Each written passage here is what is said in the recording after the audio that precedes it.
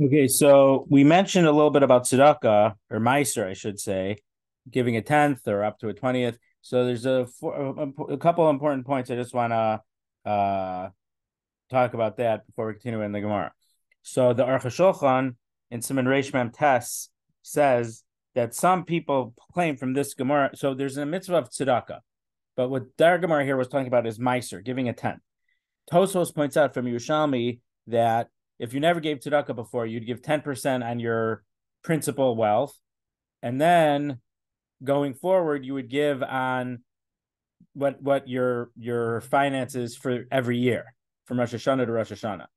And they mentioned if you if you have some things that you make money on and some things you lose money on, you wait for the whole year and you figure out the net gain and you give and after this. Well, we're not talking about necessarily taxes here, but yeah, probably after taxes. But I'm saying, let's say you made some investments. You had a deal, you found a deal on on black cloth. So you bought black cloth, that became a big seller. Then you had a you had a a, big box of, of of cherries, and then you couldn't sell the cherries. You lost money on the cherries. Meaning so if you had so you don't have to worry about giving tzedakah uh, oh i just made this deal let me give a mice right away well you might have something you're going to lose money on so you wait for the year and you pay for the year. So, but this idea that people talk about, I have to give my miser. So is mice? So the Aruch says some quote from this Gemara that miser is midiraisa. The Aruch does not like that at all. He completely rejects that. So the Aruch HaShulchan points out there's a mitzvah of tzedakah, and then there's this derabanan of miser, and this derabanan of miser is um when, when we learned about from Meiser, Aser to Aser, give a tenth and another tenth, that's not a real drasha. That's just a way to remember what this Takanas Chachamim was. But it's absolutely not a drasha, according to the Aruch HaShulchan. He also points out that uh, yes, what about if there would be someone super rich, and let's say with six percent of his money, he could he could pay for all of the poor people. Does that mean that no that and and if it's diraisa, everyone else would still have to give tzedakah, but who do they have to give this tzedakah to? So the Aruch says there's no such Torah requirement to give the uh, uh, up to twenty percent, but you have to give de machzora what the aniyim are lacking. Then he says, and this it's we don't know historically. He says that nowadays in Gullus there's a lot of more poor people than there were in the time of the Beis Hamikdash when we were in our land and control of our land. So whether that's true or not, the the Ramban in Parshas Re'eh brings someone. I thought that he said himself, but I looked it up, and he he doesn't say it. He mentioned someone who mentions that when the pasuk says in Re'eh, "Kilo yachtal because we will not cease from having a poor person in the land.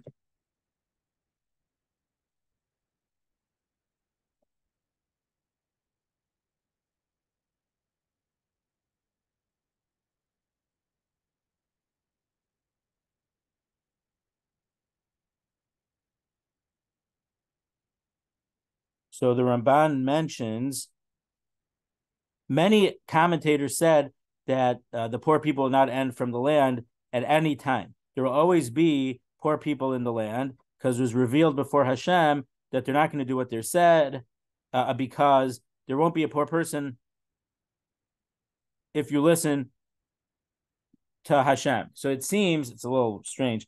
It seems that I think the Ramban I, I saw had a slightly different text than this, but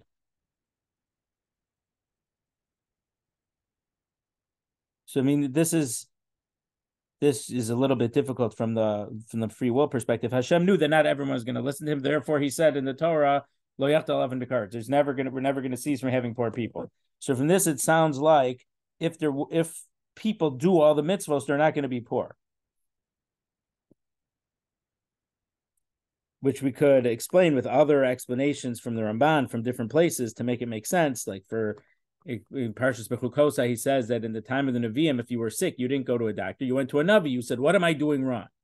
Obviously, Hashem sent me the sickness as a message. Help me figure out what I had. What what did I do wrong? Or a different Ramban about Maakeh, the, the fence around your flat roof. He says, if you're a tzaddik, laws of nature don't apply to you. If you would fall off from the roof, you'd be fine. But it's only for people who aren't tzaddikim are subject to the nature. So then, like Rabbi Hanina ben, uh, ben Dosa was so poor, and his and they didn't have his wife put vinegar instead of oil in, either because she didn't have or uh, for the candles for Shabbos. And he said, just like Hashem can make uh, oil uh, um, light a fire, he can make vinegar burn. So a nace happened, and and the vinegar burned as if it was oil. So the Ramban said in other places, so that's a little bit different than than this. That that's about the laws of nature, but it seems the Ramban is, bringing opinions. This isn't his opinion. He's mentioning opinions that say that if people would follow the mitzvahs, they wouldn't be poor. So it seems that the punish that that to these opinions, some of some uh, at least some poor people, their poverty comes as a punishment for something. But we know, but other places, uh, the the end of the first parak of kedushin, schar mitzvah olam leka. There's no reward in this world. We don't know what's a reward, what's a punishment, what's uh something that just happens. Uh, that it's not a direct message from Hashem. It's it's hard to know. But the Ramban rejects this. That's not correct. The Torah is hinting about in the future, but it's not saying that the Torah is not saying that there's is that there's people who are not going to finish the Torah for, for at, all times. Chas v'shalom.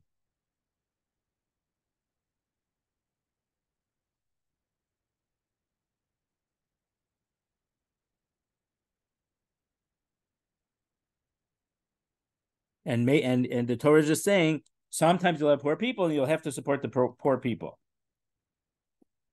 So, but the the Aruch HaShulchan says that in the time of the Beis Hamikdash, when we were in control of our land, so probably not during the Roman time, during Hanukkah time, but when we were in control of the land and the Beis Hamikdash, there weren't poor people. So it's not. It, how could you say that everyone had to give at least ten percent of their uh, uh ten percent to tzedakah if there weren't that many poor people? So he says that that this is a later enactment and it's midrabana.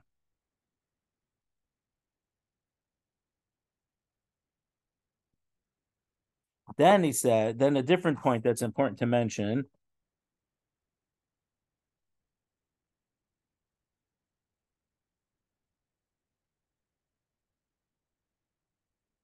The Ramah mentions that you can't spend from your miser money for a mitzvah, like for uh, candles in the in the shul or another dar mitzvah, you have to give it to a poor person. But if you have to be a sandik or to give to a, a new mother or expenses for a bris milah if if if you're poor, or if you give for achnasas kala and things like this, that would be included in meiser. So let's say you had a mitzvah, uh, you you uh, you were marrying off your own kid, or you were uh, you had a baby, so to pay for the bris, things like that. That could be your own meiser money for that own mitzvah thing. The Shach says. And uh, also, if you buy an aliyah for to the Torah and you give a nidava to the base for to the base of medrash or the base of knesses, that could also be for Meiser. Or if you give from tzedakah to people who serve the community, that's included in tzedakah. And it appears to me, says the Aruch HaShulchan, that uh, when you give to, let's say, the Rav, when his son gets married or his daughter when she gets married, that's not considered Misa, Meiser. That's considered expenses for a, a wedding. But if you give it when it's being when collections are happening for collections for aniyim, then it is considered meiser.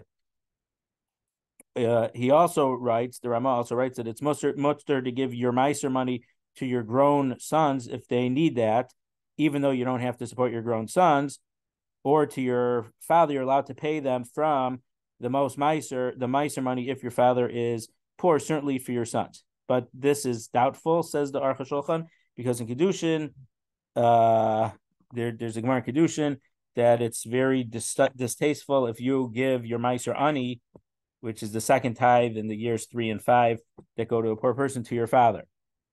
Uh, so he discusses that. So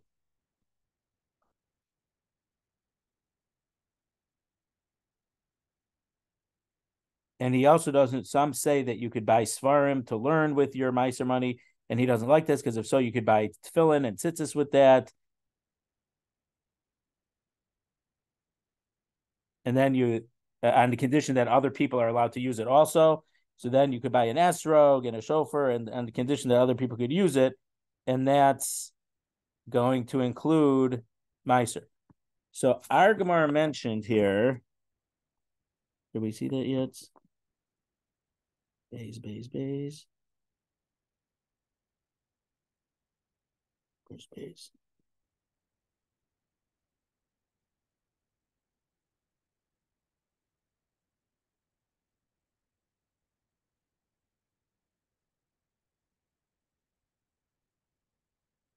Oh no, it's later on. So we'll talk about that in a, in a in a few minutes. But but the, these type of shilas, Aruch HaShulchan, uh, it seems according to the Shachar or the Ramah, some some of these things would be allowed to be given for Meiser. And if that's true, he doesn't say it, but it's it's hard to justify it from from a tzedakah perspective if it's an obligation of tzedakah if Meiser is a separate obligation besides for tzedakah, it makes it makes more sense. You would have certain greater latitude to give for these types of causes, which aren't necessarily for someone else. You give tzedakah to yourself. I know we like to say charity begins at home, but that doesn't mean you're making tzedakah when you give money from this pocket into this pocket. What do we go by?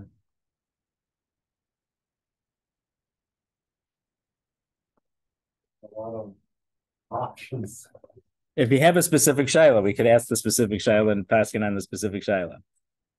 Well, yeah, I, I mean, I've heard that there's lots of leeway nowadays. Uh, uh, you know, some people obviously use it as a way of decreasing their uh, their real tzedakah. Right, I have to pay my kids' tuition. Yeah, yeah. You know, so that's a similar thing to that. So if you hold that Meiser is is a diraisa, so that it's I, I I see it as a difficult way to stay that you could be give the tzedakah to yourself. If as Aruch HaShulchan Paskins that Meiser is a separate rabbinic obligation than tzedakah, it makes more sense. There's more leeway. The Shitah Mekubetzes brings an opinion here. Um,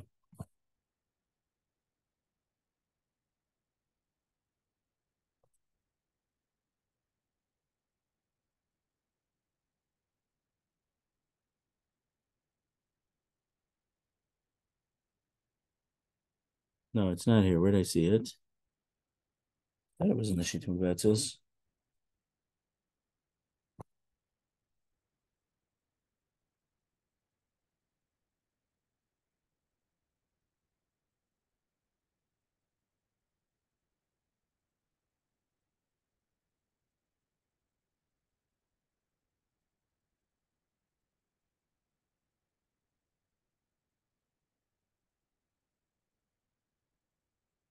I thought I saw Shitah Mekubetzes an opinion that this drasha of Aser to Aser was a Diraisa, but I don't see it now, so I can't quote it.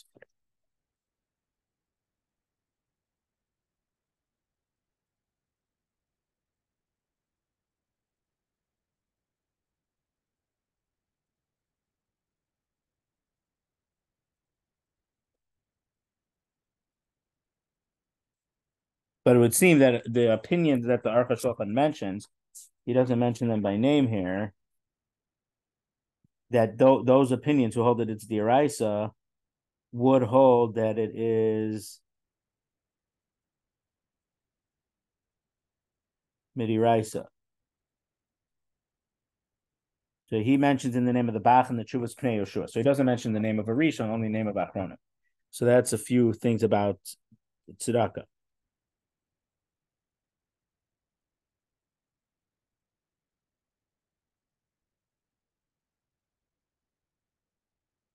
When the Lubavitcher Rebbe was sitting Shiva, I think for his wife.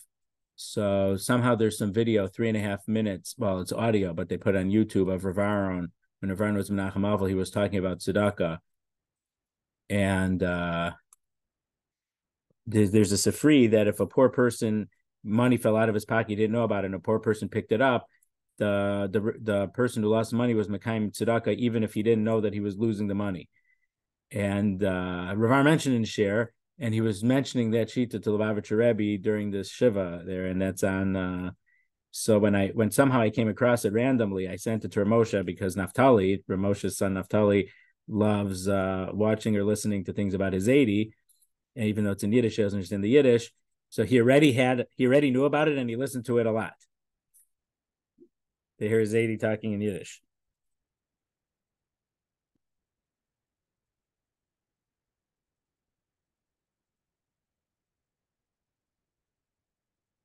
Okay, so we are at Amr of Simi Bar Ashi. So it's like the last, second to last paragraph on 50A1 in the ArtScroll. And it is about 12 or 13 lines from the top on Nun Amud Aleph, the third to the last word on the line. Amr of Simi Bar Ashi. So unfortunately, I brought up this point last time, but I hadn't gotten further enough in the Gemara.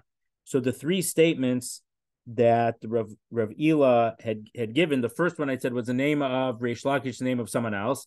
The middle one was only in the name of Reish Lakish. And the third one, he just said himself that in Usha there was a takana. So I pointed out that the first one, he said in the name of Reish Lakish, who said in the name of someone else. The second one was only the name of Reish Lakish. The third statement, he said himself, not in the name of anyone. So Rav Simi points out, these these teachings, I mean, Shmua is literally something you heard, they got reduced meaning because we went from his name in the name of two others to in the name of one and, and not in the name of anyone. Kisvu uvos And we have a mnemonic for it that the uh, ketanim, so children, kasvu, wrote uvizvizu, and spread out the money. So one, the first one that was in the name of three people was ketanim.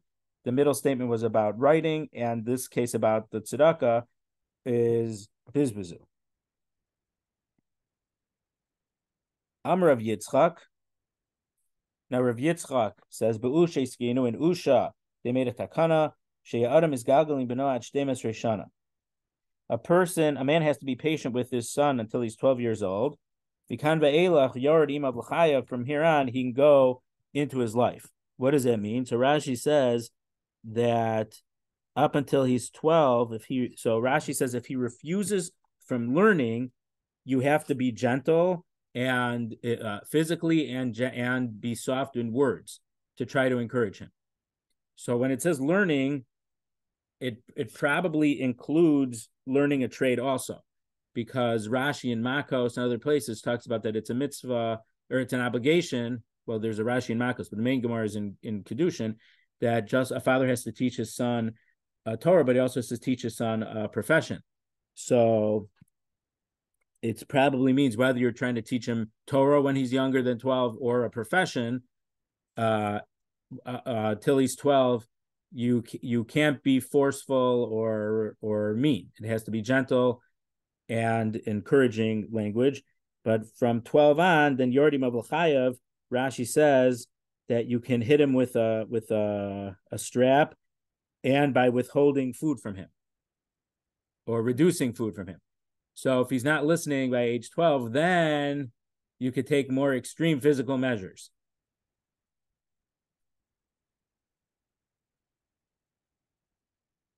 So Ini, is this true? Amar le Rav uh, Rav Rav Shmuel Bar Shelas.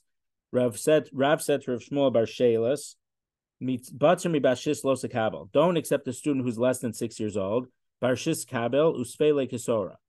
If he's six, you could receive him and stuff him like an ox, meaning force feed him. Nowadays, we would say feed it like a goose for foie gras, meaning make the kid learn as much as he can, even if he doesn't want to. So even though the, the Gemara says if he, uh, uh, so so the question was, so Rav Yitzchak said that in Ul in, in Usha they said you can't force him to learn until he's twelve. How come here you're stuffing him with Torah even if he doesn't want to? Uh, uh, from the time he's six. So the Gemara says in Svei like a Torah, you should stuff him like an ox. So I guess like an ox in our days, uh, besides for the foie gras, you be like a veal. A young uh when you're you're you're feeding the veal, so they get big and fat. So you're trying to force feed the the Torah into the kid. Miu Shana. But there's a difference between force forcing him to learn and trying to stuff as much Torah you can into him versus taking physical measures against him. You're still not allowed to use these physical measures against him uh, until he's 12 years old. Or I could explain it in a different way. Halamikra Halamishna. When it talks about you have to teach the student from when he's six years old, that means Tanakh. But but it's 12, that's for Mishnah. So you can't force him when he's learning Mishnah until uh, he's twelve. We're gonna be, we're gonna come to that. Yes, the Amar Abaye. So we're gonna talk about that in a few minutes in a slightly different context. But yeah, there's the Mishnah Pirkei Avos. Ben Chamesh Shanim Lemikra, five years old for Mikra. Ben Eser Shanim Lemishnah, ten years old for Mishnah. And Ben Chamesh Yisrael Gemara, fifteen years for Gemara. We're going to talk about that in a few minutes. But the, the ages don't match up completely. But we're going to see something the Gemara. Some try to um, synthesize this Gemara with that Mishnah Pirkei Avos, and some say it's slightly different cases. So they, we don't have to synthesize them. The Amr Abai, because Abai says Amrli aim. We saw this earlier when uh, Abai was orphaned. His mother died when he when he was born, but there was a maidservant who who raised him, and he called her aim. Barshis Lemikra. For six years old, you should teach him Chumash or in Tanakh. Ben Esr Mishnah. When he's ten, you should teach him Mishnah. Bar Tleitzer Letanisa Me'is La'es. And when he's thirteen, he's he could fast for twenty four hours. Or Batinokas Bas Tracer and for a girl when she's uh when she's 12 so so the Abaye statement from his maid who, who raised him is supporting the fact that um we might have to that you might you teach that you would teach the kid at certain ages and we see that there's a difference between teaching them at a certain age even if they don't necessarily want to but that doesn't talk about anything about uh, using using physical force. Okay so then here by the derech agav we come into the thing when is a kid supposed to fast? Let's say for yom kippur or for tishba. Obviously the only tinus diraisa that we have well the only tinus diraisa is yom kippur if there's an ace if there's a time where there's calamities falling the community, the the the leaders of the community could call a fast day. And so when you would fast, it'd probably be a kiyam midiraisa of tefillah, of yom simchas chem, of madechem. Uh, when uh, uh, uh, and there is a trouble with tzar hatzoreschem, varyosim b'chatzotros. We also mentioned many times, not recently though, about the mamados that uh, the as the Rambam says, how is it possible that that when, when you bring a korban, you have to be davening or or let's say you did an avera chas v'shalom. So when you bring a, a, a, korban, you have to do a vidoy. Rambam says in Hilchos Tshuva. Uh, uh, if you get punished by basin because you did something wrong, you have to do your vidoy also to as part of your tshuva. So if uh, if if the korbanos are being brought on our behalf in the Beis Hamikdash, the person, the bala, the bala korban has to daven when the korban when the korban is being uh, offered that the korban should be accepted. So because of that, there were certain people who were designated that they went to Yerushalayim and they fasted uh, some of the days of the week, and they had special uh, Kriyas Torah and special davening that they did on behalf of all Klal Yisrael. I think they had what two weeks at a time, or was it one week at a time? I don't remember right now, but um, so their part of their davening on behalf of Klal Yisrael was fasting also. Because at Diraisa, no, it's not Diraisa. So when do you have to uh, tr- uh, train a kid? So a little Gemara is here. There's also a little bit about this in the last perk of Yuma. So some say when they're kid, just train them, you know, to have breakfast an hour later. You don't really have to train. We say lashos for hours, but it doesn't necessarily mean when they're 10, have them fast till 10 a.m. and when they're 12, have uh, when they're 11, have them fast till noon it doesn't necessarily mean that. Some might interpret it that way. But according to this Gemara, you don't have to have them fast. It seems a boy, when he, so in his 13th year, so within a year of his bar mitzvah, he should fast. And for a girl in her 12th year, because she's a becomes a bas mitzvah when she's 12, so the fast before she should she should fast uh uh the full fast. So the Ritva here mentions. So, and this is bringing in the, um, what Jeff pointed out. When it says that when he's six, you should send him to school, does that mean the beginning of the sixth year? So when he's five years old, that's his sixth year now. So that's when he should start learning Chumash. So when Argamar says six, it doesn't mean his sixth birthday, which is his seventh year of life, but it means right after his fifth birthday when it's his six years of life. That's what you're asking, right? So some explain it that way, but others explain it that when you send him to school, he should be six full years old, meaning his seventh year. And so in that case, the Mishnah in Pirkei Avos is not uh, uh, along the same lines of thought as this Gemara. And the Mishnah of Pirkei Avos is talking about the father should start teaching him. And here is talking about sending him to the school. Now, the schools were a, a newer takana. The Gemara in what Daf Chafala for Chafbez and Bava Basra says there's a certain man he should be recognized for good, Ben Gamla. I think Yeshua Ben Gamla, because everyone knew that a father has an obligation to teach his, to his kid Torah. What about what about boys who didn't have a father to teach them? Whether the father didn't know, or the father passed away, or father went to Medina Sayyam, what would happen? So Ben Gamla uh, instituted that there should be a, what we would call public school. And so everyone was able to learn. So, so, uh, so when the Ritva here saying some say to t- send them to school, that must be after the Takana of Ben Gamla.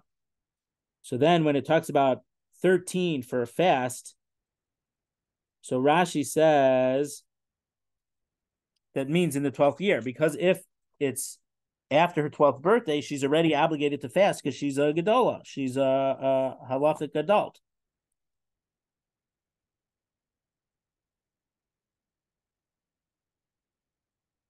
So when it says uh, 13 for a boy and 12 for a girl, it must be the 13th year for for a boy and the 12th year for a girl before his 13th birthday, before her 12th birthday. So if the 12 and 13 means bef- means the, the year, then it would make more sense. But the Ritva doesn't say that those p- opinions match. They don't have to interpret that that uh, when he's six goes to school means in his fifth year. So even though you might think from the Mishnah Perek there should be a consistency, the Ritva does not seem to say that there has to be such a consistency. But the Ritva points out is that the fact that you fast, a girl when she's 11 and a boy when he's 12, they fast on Yom Kippur to practice, that's not a din. It's only a, a durabana.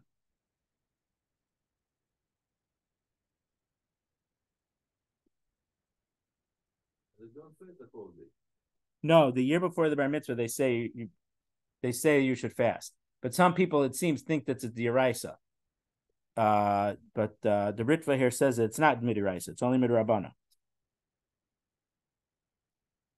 But it seems that besides normally there's a mitzvah of chinuch, meaning a kid before bar mitzvah doesn't have to do mitzvahs, but we have them do mitzvahs so they'll be prepared when they become 13 and they have to do mitzvahs. They'll know what to do and they'll be used to doing it, so it won't be a problem.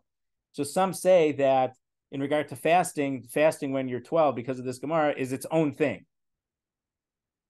Meaning it's not it's not just practicing to fast so you'll be able to fast when you're bar mitzvah or bas mitzvah, but it's a slightly different thing. Some people say that. Uh, from the Ritva doesn't doesn't seem that way uh, uh, Yom Kippur Katan? The Yom Kippur Katan is something completely else. Yom Kippur Katan is just that the day Erev Rosh, Erev Rosh Chodesh would be a special day for davening. So some people fasted, and uh, and because they fasted, it became like a minor fast day, a voluntary minor fast day, and so they would lane at mincha and they would say vidoy and things like that at mincha. So, but what we would have similar to that is if people would fast on Bahab, on the Monday, Thursday, Monday after the Rosh Chodesh, after Sukkot and Pesach, it would be a similar thing. At Mincha would be you would read with the Torah if you have a minyan uh, fasting. Yom Kippur Katan is no basis from a Torah level. I don't, I don't know when it started, but it's it's a much more recent uh, thing, and it's about a Yom Tfil, a, a, a, a, small day of tshuva. Why they picked Yom Kippur Katan, I don't know. It's probably some Kabbalah reason. I don't know. So did you maybe you saw some things that some uh, rabbi said that this past Monday, Erev Rosh Chodesh, fast if you can, and then if you have a minyan, uh, we'll read the Torah, and, and they did that at the CRC at the the mincha at the CRC on Monday. They they uh, had Kriyas Torah. That's what Yom Kippur Katan is. So one other thing, Rashi points out that Rav Shmuel Bar Shelas was uh, was a rebbe, a teacher of children. So uh, so Rav told Reb Shmuel Bar Shelas a halachic thing: teach the kids, stuff them up with Torah, even if they don't necessarily want to, but you you you shouldn't force them. You can't use physical force when they're that young. Amar Abaye. So once we had Abaye quoting his. Oh wait, so what was one other thing. It's mitzvah.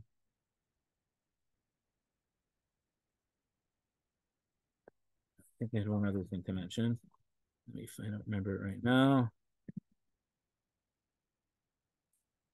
I think I wrote it down.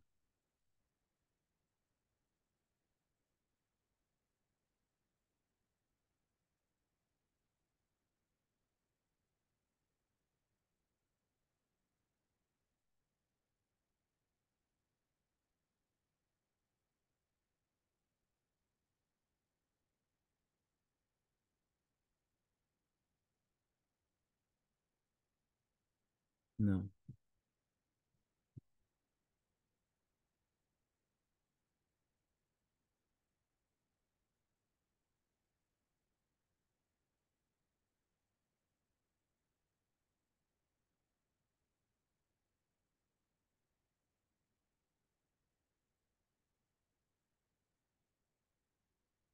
Okay. So I can't find it. Okay. Amar Abaye. Abaye said, Amarli Aim, the woman who raised me, taught me, Hi Barshis de Takrele Akraba, a six year old who was bitten by a scorpion. Bioma de Mishlam Shis, if it's on the day that he that it's his that it's his sixth birthday that he completed six year lochai, he's not going to live unless he has the proper cure. Maya Suse. So what is this cure? Mararta de Daya Chivarta B'Shikra. The bile of a white vulture with bear, nafshe v'nashke, rub it on on him and have him drink uh, have him drink it. Hi barshata de tar zibura. If a one year old, a shata is a year, so barshata, one year old who was bitten by a bee, so a dalet and a zayin can interchange. So zibura is like a devora. Biyama the mishlam shata, the year that it's his one year old on his first birthday, lochai is not going to live from this bee sting. Maya suse. What do you have to do? Atzvasa de dikla b'maya. So date palm bast with water. So the the uh, the ArtScroll says it's a woody fiber that grows around date palm trees. So because a dikla is a date palm, so you you you uh, soak that in water. Nashfe v'nashke, rub some of it and have him drink some of it. Okay, Amar Rav Katina. Rav Katina says, "Kolamachnes es pachos mi ben sheish." If someone will uh, enter his kid to learn Torah when he's less than six, Ratz Achrav Magia can run after him, but is not going to reach him. What does this mean? Rashi says, Ratz Achrav, you could run after him to keep him healthy, uh, but you're not going to be successful. He's put in danger to die because of the weakness. If his fellow, the, his friends, the other kids will run after him, Ve'ain Magian Liada. So the Ikeda Amri says that other kids are going to try to match him his Torah learning, but they're not going to be successful. So the first statement says that if the kid learns when he's younger than six, he's going to be weak and sick. The second one says he's going to be so successful in learning, the other kids who started a little bit later than him are not going to catch up to his learning. The Travayu isnuhu, and both things are true. Chalish v'gamer, the kid will be weak, but he's going to be knowledgeable in the Torah. And ibais ema, or we could say that kachish, the case where the kid is going to be getting sick is where he's a weak kid to begin with, and so you shouldn't start him learning when he's young. But hadabari, but when he's young, you should start him when he's very healthy. You should start him young, and he'll be successful. That the other kids who didn't start as young as he is won't be able to catch up to him. So uh, there's a very interesting. Rav Zevin brings down in in Rus. Something the name of the Vilna Gaon.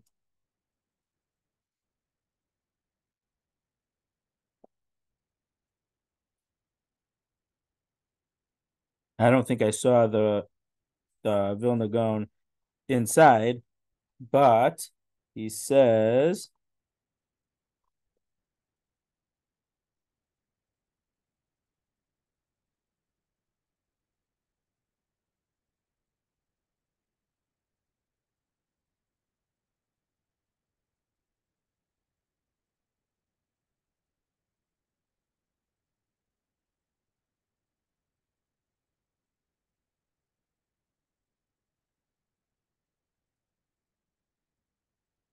Okay, certain details of I'm reading here from uh, the Festivals in Halacha by Rav Zev, and this is page 298 in the ArtScroll English volume.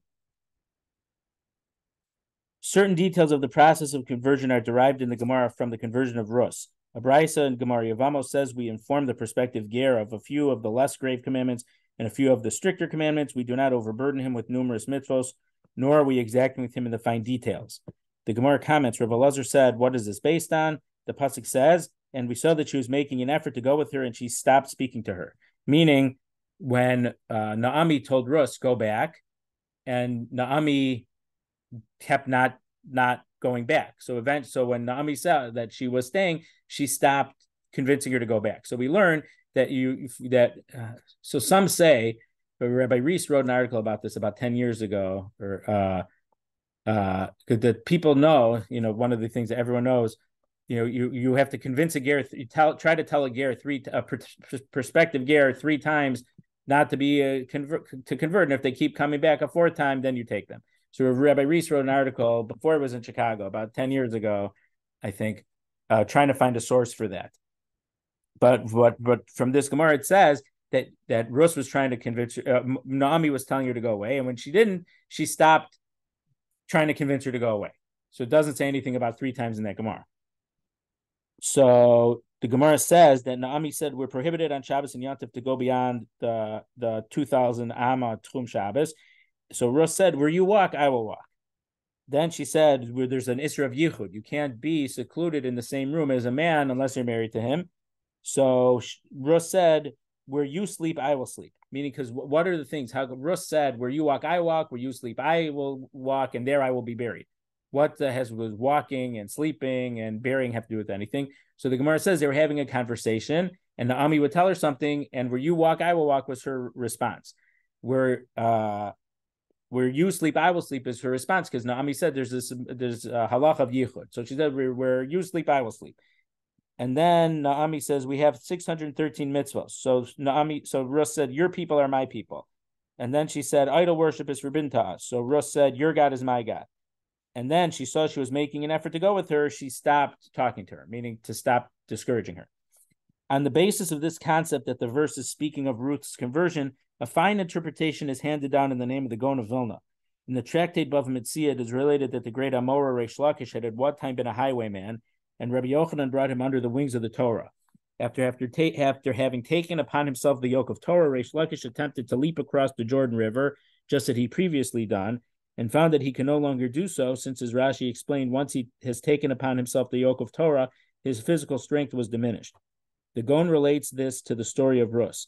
She too, having wholeheartedly taken upon herself to convert, found her physical strength diminished, and she could no longer walk quickly as before. That's why the pasuk says that Naomi saw she was making an effort to go, and she and she ceased speaking to her.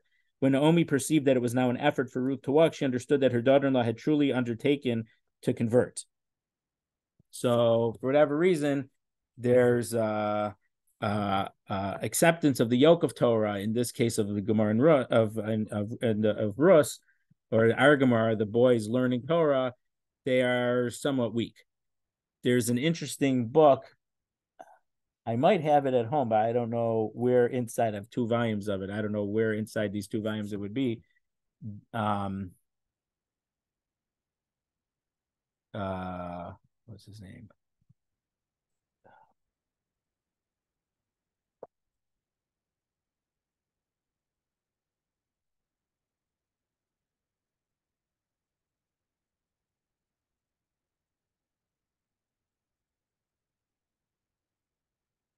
Rav Yaakov Emden.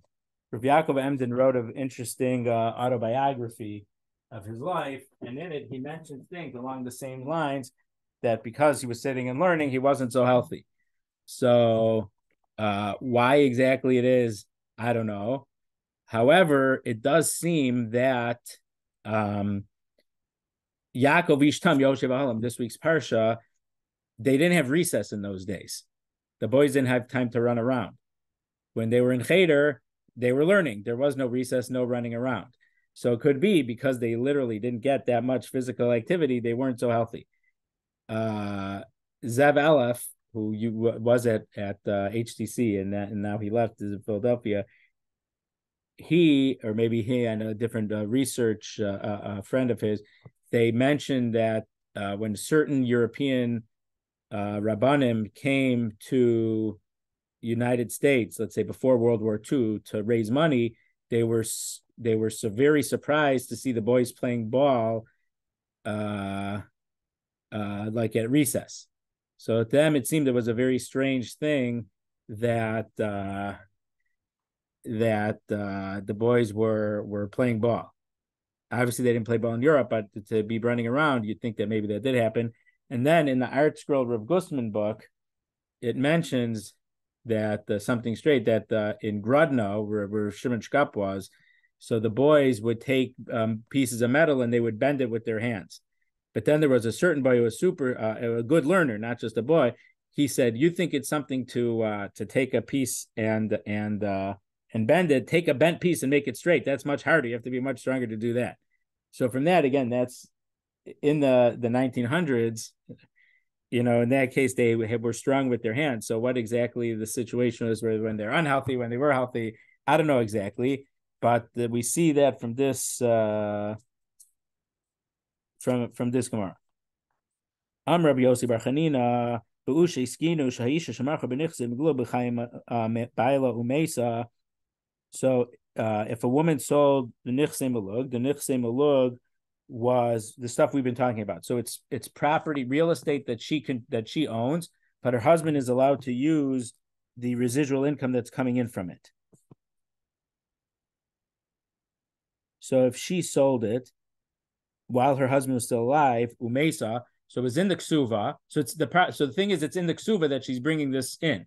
So it's in the ksuba that the husband's going to have these what we what we call derivatives or what's the right accounting term for this, Larry, for this this revenue stream from this the, the revenue generating property, let's call it.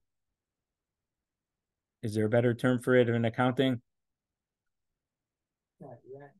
No, it's not rent. But let's say there's a field, it's an orange grove. So every year when they have the oranges, he can make money off the oranges but he's not allowed to put, make a mortgage on the field or he's not allowed to rent out the field. He can only use the the income that the that the that the that this thing is generating. No. Sharecropping.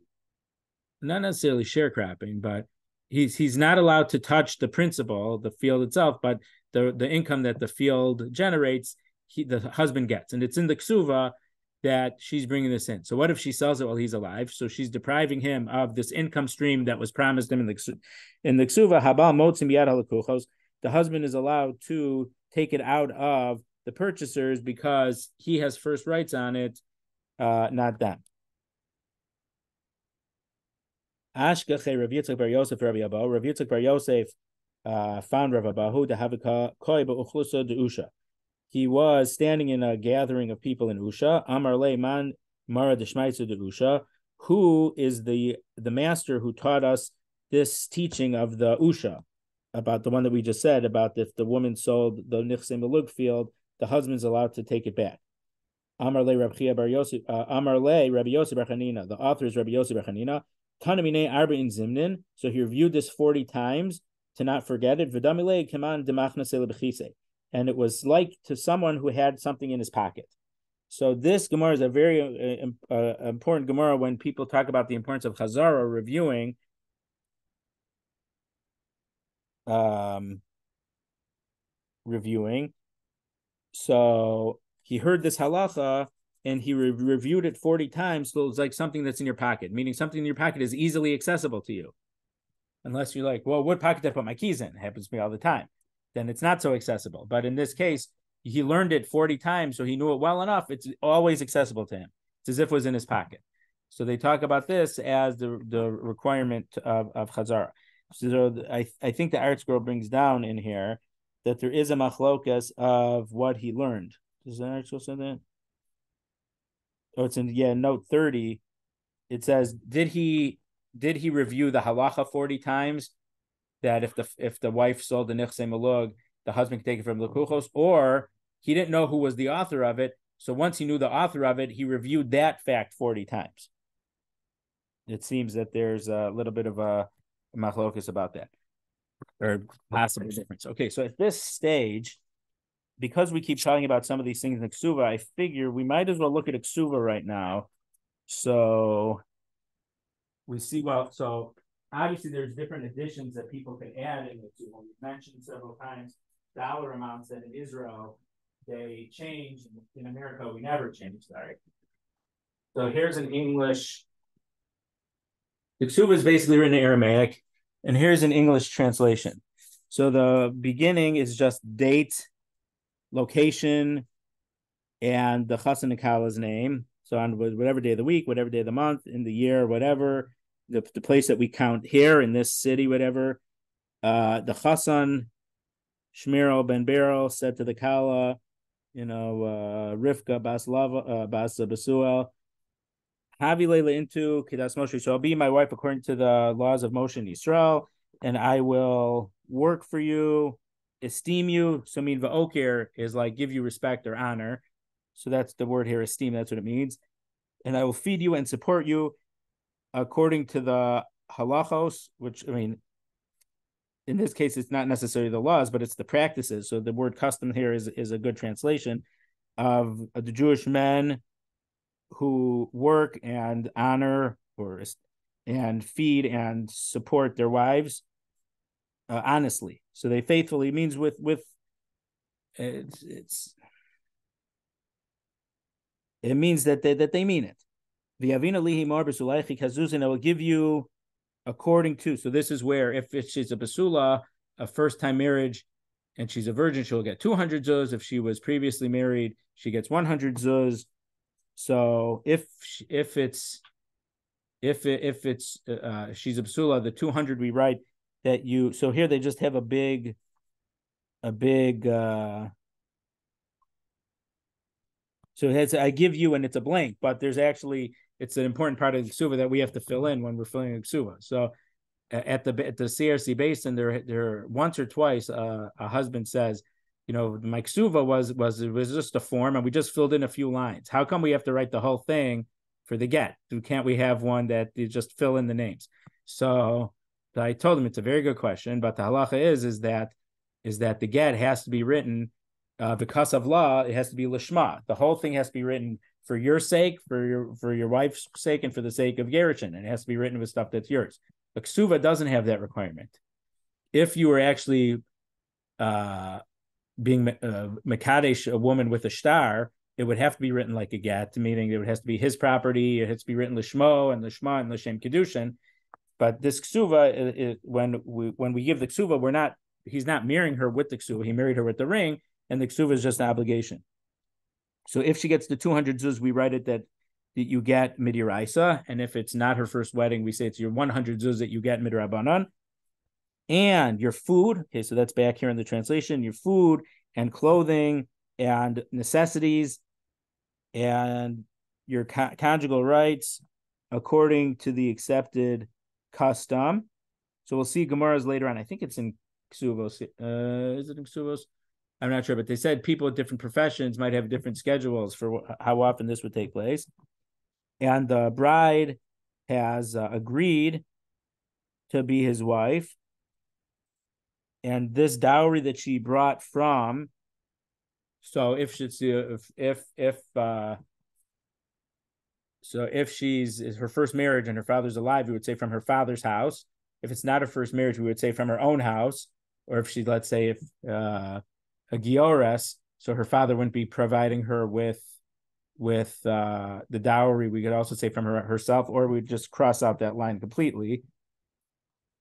Whether it's silver, whether it's gold, whether it's tachitin, uh, furnishings, the money delvusha's clothing, they write bedding. I don't know, but money levusha is more like clothing. But I guess they think like uh the whoever translated this ksua, which again, it's not a bad translation. Um, but I guess they say like a shower when you have a shower for the bride, you need stuff they need in the house. So it would be household furnishings, not her personal clothing furnishings. Bishimushe dira for housewares. Bishimushe de arsa. What is arsa?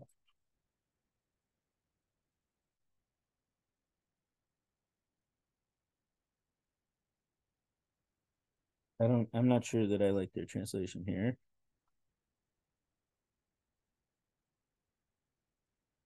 A Abed. So they, they missed a few words translating here. Bamili de Arsa is bedding stuff, stuff related to a bed.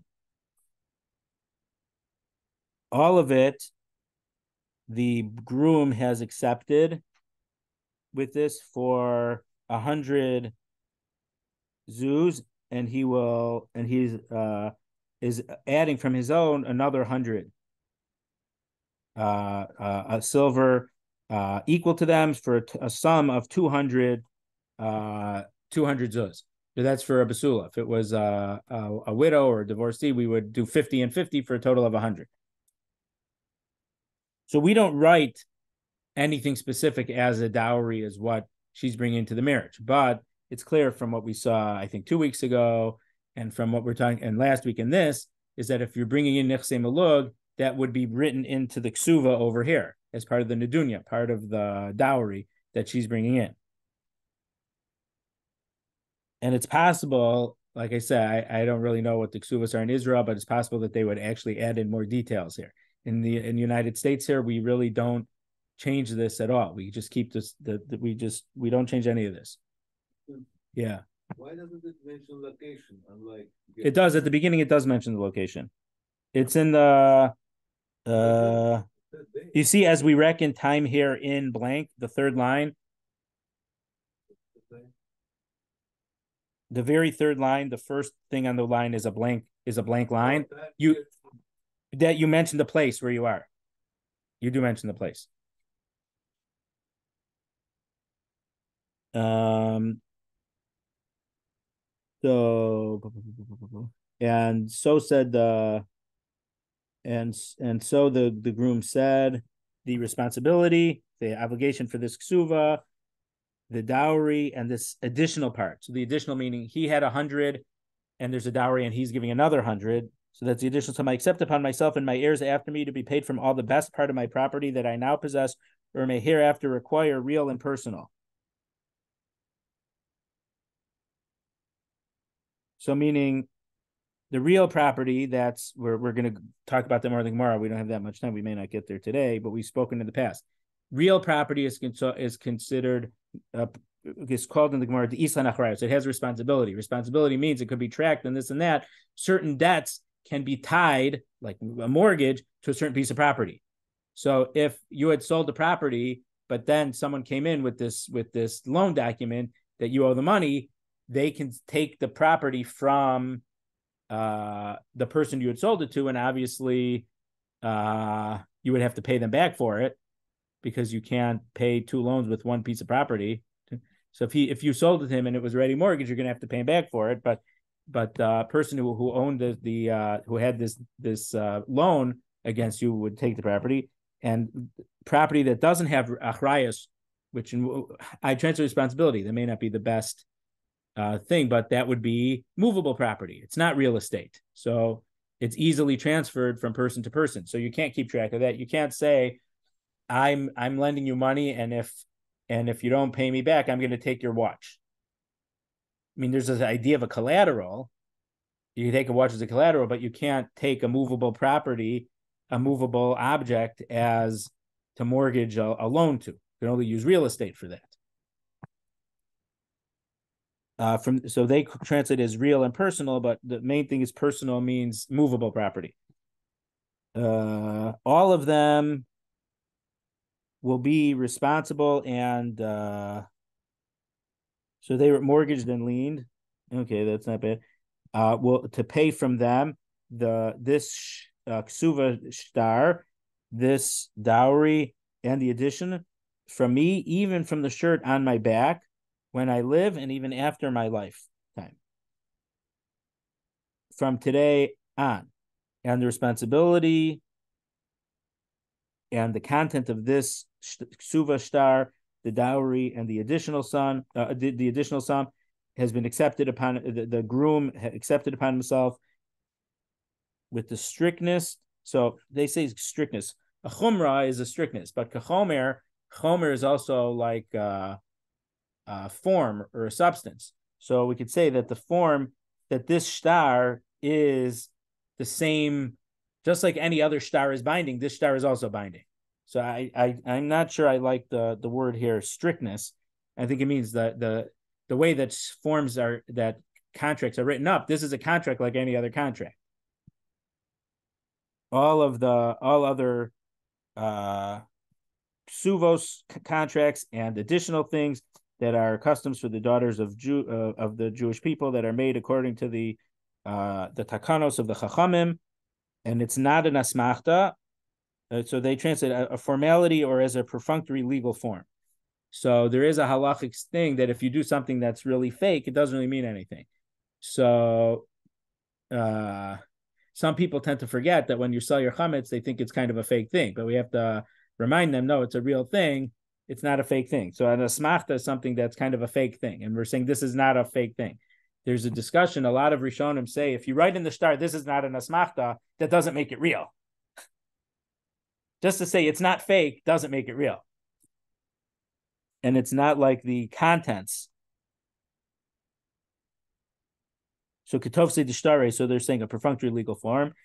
And we have established the acceptance. So this is the part in the ksuva, the word kanina means he made a kinyan. So what's the kinyan? We we usually a handkerchief, uh, contract. He accept upon himself everything in here.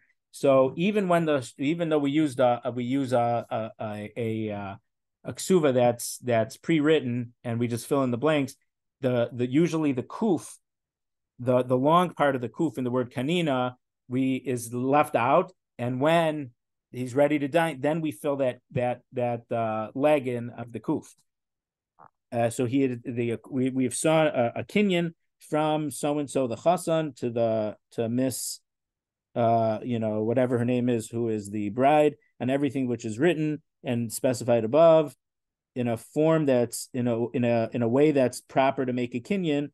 So they wrote an article fit for that purpose means you did the kinyan in the proper way, and everything is valid and binding, and signed by two witnesses.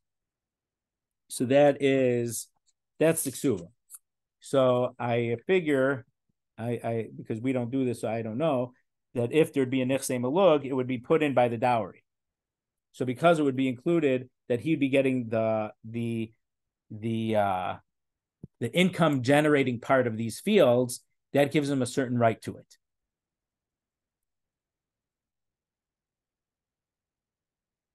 So we'll leave it here. But to the point, so one thing I'm just going to mention here, I'm not going to talk about it all, but mention is that. So when, you know, in about 40 years ago, or maybe a little more than 40 years ago, when people are saying that there's, okay, I'm letting me start, stop the recording here.